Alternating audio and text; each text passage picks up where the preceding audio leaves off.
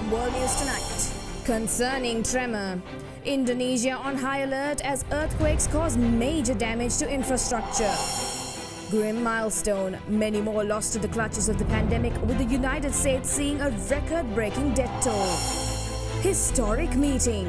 Israel and United Arab Emirates come together for the first time in discussions of diplomacy. Celebrating St. Lucia. Kayaks lit with Christmas spirit float through canals under moonlight in remembrance of hope and cheer. From the global resources of the Derana Media Network, this is Ada Derana World News Tonight.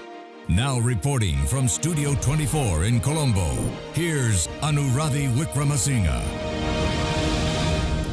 Good evening and thank you for joining us on World News Tonight. We start off today's coverage with updates on a major earthquake in Indonesia. A tsunami warning issued after a powerful 7.4 magnitude earthquake struck eastern Indonesia was lifted by the local meteorological agency after around two hours. The quake, which struck in the Flores Sea, sent residents fleeing from their homes and caused damage and also injured some.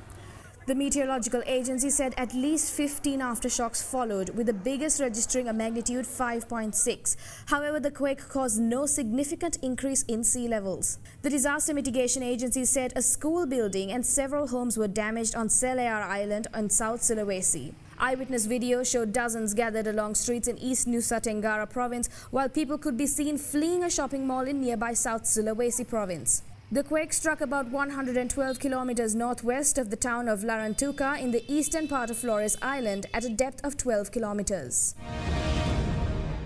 Meanwhile, in the US as well, natural disasters have struck as hundreds of homes and businesses in neighborhoods of Bowling Green, Kentucky are unrecognizable after a deadly tornado outbreak. And in the hard-hit Warren County, the death toll is still rising. Early morning sun reveals the scars that will not soon disappear from the path the tornadoes cut through homes, businesses, and lives. But first light also reveals something about who we are. Time and time again, when we witness moments of great trauma, we see moments of teamwork. In Arkansas, neighbors collecting clothing at local schools. This will be going on as long as we need it to. Or strangers from across the street or across state lines coming to help. Whether to share a prayer, understand that you love us and you understand that we get a chance to work through you, or help pick up the pieces. We need a truck and probably about four dudes to help move a refrigerator. Retired Green Beret Jeremy Locke is with Aerial Recovery, a group of former military who rush in to volunteer after natural disasters. I've been a lot of places and this place is devastated. There's a lot of need out here, so anything can help. Offering aid to Royce Buck, who's just beginning to process it all. Have people come in and say, we're going to help you get to the next day. Uh, it, it, it, I, there's no words for it. In Campbellsville, Kentucky, ER nurse Chris Wilson has been one of those volunteers. Now he is the one who needs help. Close community and good neighbors, good friends. Coming together to lend a hand to those most in need. Now on to the updates of the COVID pandemic. Still in the US, it's been one year since the first doses of the Pfizer COVID vaccine rolled out. But there's a new wave of hospitalizations overwhelming healthcare staff. It comes as the US hits a grim milestone of 800,000 deaths from the virus. Inside the nation's busiest hospitals, there was no time to reflect on the loss as our nation surpasses a staggering 800,000 deaths. The most devastating wave of COVID infections is right now overwhelming many medical centers across the Northeast and Great Lakes. More national disaster teams are arriving at hospitals as the U.S. now tops 50 million cases. Spectrum Health West in Michigan just set their single day record for new admissions and expect to break it every day this week. As hospitalizations rise 37%, the steady and relentless climb to 800,000 lives lost took under two years. According to the CDC, 76% of deaths are those 65 and older. But the numbers are names for families who lost loved ones like Diana Sawhill. While Delta does damage, Omicron is fueling new concern. California set to re implement indoor mask mandates as cases skyrocket 47% since Thanksgiving. It took less than two weeks for the highly infectious mutation to be identified in half the country. Boosters say experts are our best defense, but tonight for 800,000 families, it's far too late. Meanwhile, at least one COVID 19 patient in the UK has died with the highly transmissible Omicron variant, which the country's health authorities are saying the strain is spreading at a phenomenal rate. For further details, let's cross over to Ada Derana the World News special correspondent Malshia Besekra reporting from Norwich in the United Kingdom for more. Malshi? Yes, Anuradhi. They expect the variant to become the dominant strain in 24 to 48 hours. Amid the rapid spread of the Omicron variant, the UK has reported its first death from the strain, saying the country had sadly witnessed the loss of a patient who had been infected with the Omicron variant. British Prime Minister Boris Johnson said the variant should not be taken lightly. Since the country detected its first Omicron case in late November, Johnson has imposed tougher antivirus measures. He also urged the public to get booster shots to prevent the health service from being overwhelmed. Explaining that the new mutation is spreading at a phenomenal rate, Britain's health secretary said that the Omicron variant now accounts for nearly 44% of all COVID-19 infections in London. This comes as citizens scramble to get COVID testing kits and appointments for boosters due to high demand. Back to you, Anuradhi. Thank you. That was Ada Derana the World News special correspondent Malshia Besekra reporting from Norwich in the United Kingdom. Australia is preparing for a major jab boost as it was announced that vaccine producer Moderna will soon be setting up manufacturing facilities for the mRNA vaccine in the country. For more on this, let's cross over to Ada Derana the World News special correspondent Timothy Phillips from Melbourne in Australia for more. Timothy? Yes, Anuradhi. Australian Prime Minister Scott Morrison said US drug maker Moderna Incorporated will produce mRNA vaccines a year in Australia after agreeing to set up one of its largest manufacturing facilities outside the United States and Europe. Prime Minister Morrison said the plant in Victoria State was expected to produce up to 100 million mRNA vaccine doses every year when it begins operations in 2024. He did not specify the financial details of the agreement, but Australian media reported the deal could be worth about 2 billion Australian dollars. Australia has inoculated nearly 90% of its population above 16 with two doses and shortened the wait time for a booster shot after the emergence of the Omicron cases. This comes as Australia said it will shorten the wait time for people to receive COVID-19 booster vaccines following a rise in cases of the Omicron variant. Back to you, Anuradhi. Thank you. That was Ada Derana the World News special correspondent Timothy Phillips reporting from Melbourne in Australia. On the diplomatic end, President Moon Jae-in arrived in Australia for a four-day state visit. The trip comes as Seoul and Canberra mark 60 years of diplomatic relations this year. Bolstering cooperation in green energy and future high-tech industries is expected to top the agenda when President Moon Jae-in holds a summit with Australian Prime Minister Scott Morrison on Monday. Moon arrived in Canberra a day earlier for a four-day state visit. He is the first foreign leader to visit the country since it shut down borders in 2020, and is the first South Korean president to make a state visit to Australia in 12 years. The Blue House says the leaders will discuss cooperation in the fields of carbon neutrality, hydrogen economy, defense, space, and cyber technology. On the occasion of Moon's visit, South Korea and Australia will also formally elevate their relationship to comprehensive strategic partnership especially as this year marks six decades of diplomatic ties. Moon and Morrison have already met twice this year, on the sidelines of the G20 summit in Rome in October and G7 in Cornwall in June. Another goal of Moon's visit is to secure a stable supply of raw materials and key mining products. South Korea sees Australia as a potential partner for battery minerals such as lithium and essential minerals necessary for future industries such as electric cars. Last month, Australia also provided urea solution to South Korea to ease a local shortage caused by China's tightened urea exports. South Korea is Australia's fourth largest trading partner, while Canberra is Seoul's eighth largest. Also on Monday, President Moon will pay respects at the Australian National Korean War Memorial and have dinner with Australian veterans of the 1950 to 53 Korean War. Let's go in for a short commercial break. More world news on the other side.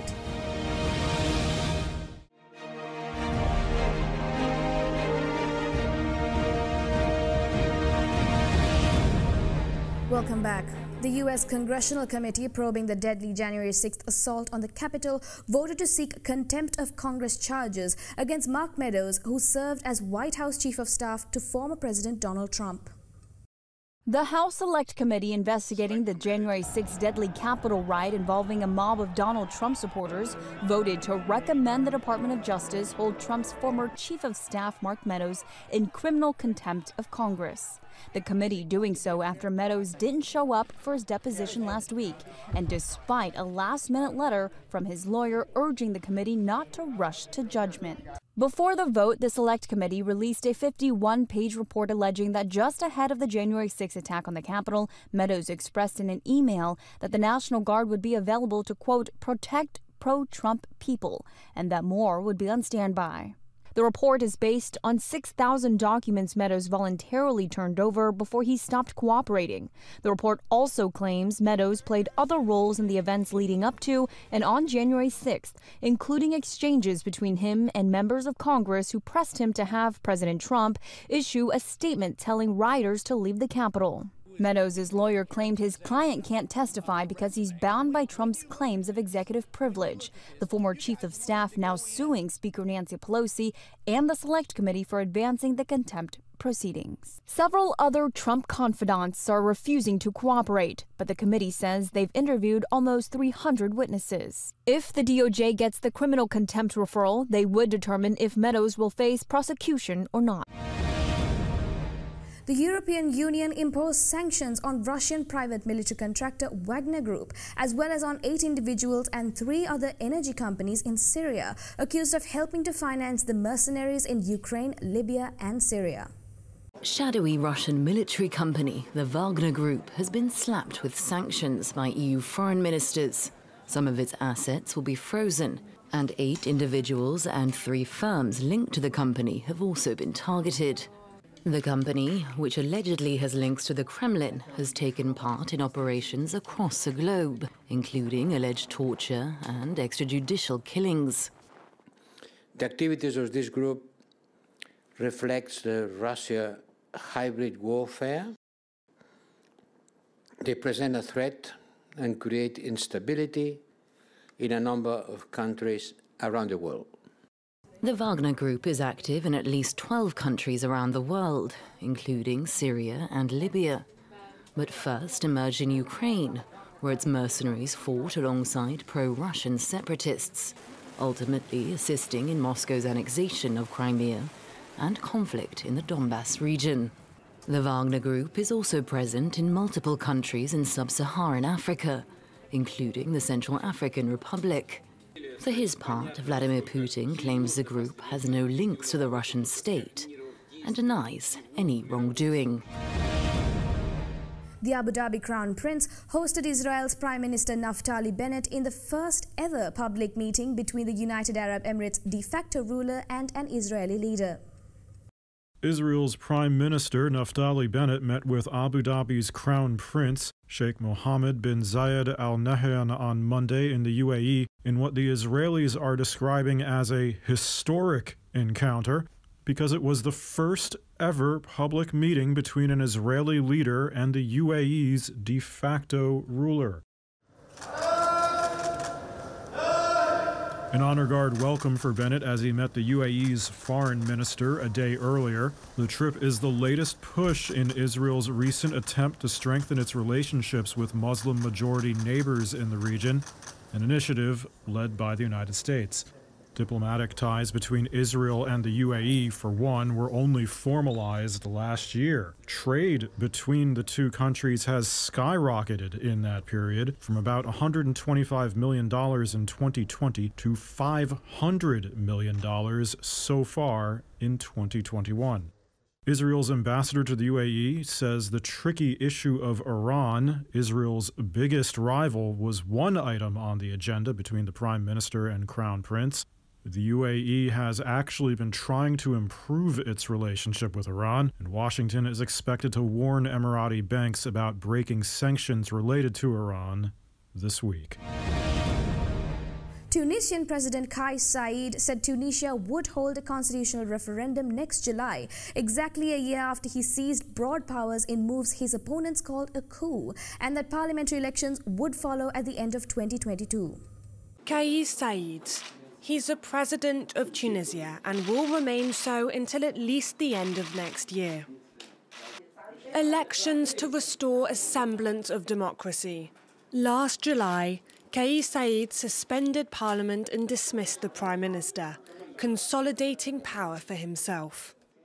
Laying out the timeline for his proposed path out of the country's political limbo, Saied also announced a three month popular consultation ahead of a constitutional referendum in July 2022. Since this summer, thousands of people have been demonstrating throughout the country for a return to democracy. Tunisia has had nine governments since its 2011 revolution, many of them short lived or fractured. Deep rooted problems of unemployment and crumbling state infrastructure that were behind the uprising have never been resolved. COVID 19 has only made things worse, fueling long standing public frustration.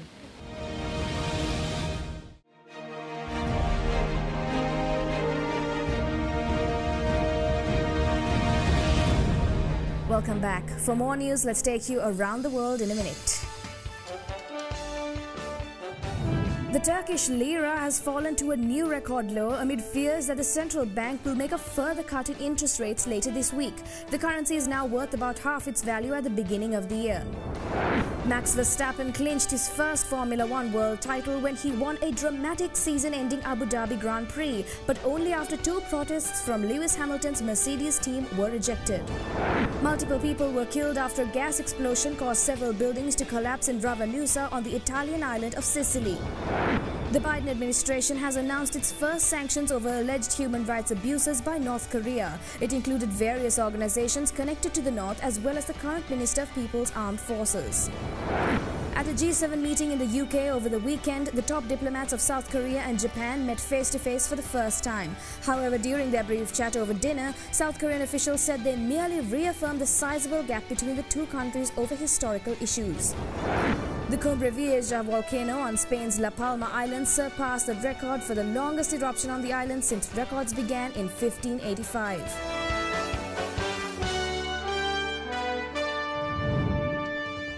And finally, tonight, hundreds of kayaks decked with Christmas lights and decorations lit up the winter darkness as they floated through the canals in central Copenhagen to celebrate St. Lucia's Day. Bystanders watched from streets and bridges around the city as around 700 kayaks moved along the canal for a parade to bring light into the darkness. Gustavo Cordes, the manager of the kayak bar that organizes the event, said the Santa Lucia event is something that is bringing light to people in darkness. At four stops along the route, the participants stopped off for some traditional singing. Apart from having to decorate the kayaks and to dress warmly, one should also fall into the dark and cold water. The only rule was to have 360 degree visible lights on the kayaks. The best decorated kayaks received a bottle of champagne. In case you have missed any of the stories we aired tonight, you can rewatch by catching us on our YouTube page, youtube.com slash English. And that's all the news we have for you tonight. Suzanne Shanali will join you again tomorrow with another edition of World News. I'm Anuradhi Wickramasinghe. Until then, stay safe and have a great night.